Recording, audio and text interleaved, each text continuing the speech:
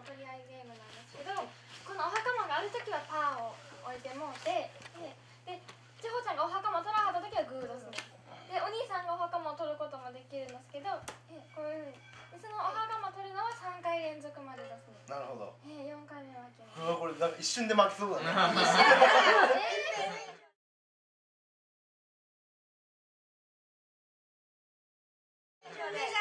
はい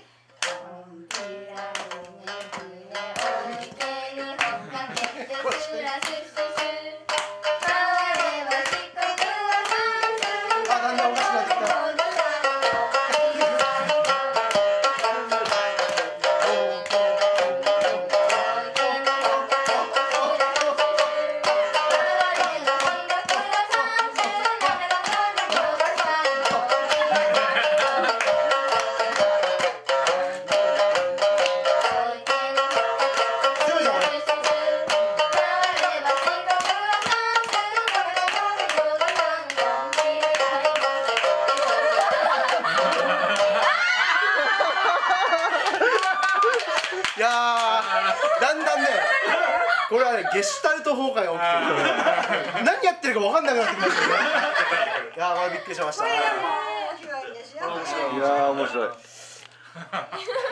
あこういうことです。ありがとうございます。またあのもうチームの時はまたじゃあ第2回大会を練習大会を開いて。お待ちいたします